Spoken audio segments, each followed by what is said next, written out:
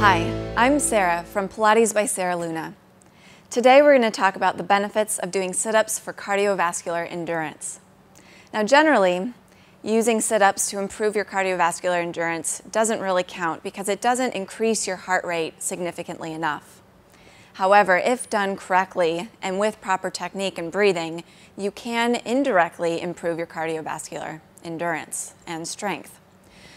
So I'm going to teach you the Pilates hundreds, which will help with this improvement. Go ahead and lay down on your back. Take your legs out to a 45 degree angle off of the floor. Pull in on your abdominals and lift your chest off of the ground.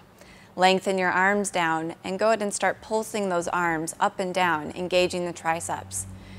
You're going to make the rhythm of your arms match the rhythm of your breath, breathing in five times with the breath and exhaling five times.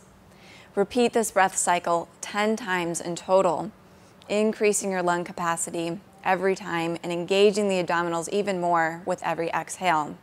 If you continue with this exercise every day, you'll notice that your lung capacity has increased and that your blood flows through your body much more easily. This will definitely help you with your cardiovascular exercises and translate into better workouts. Good luck and enjoy.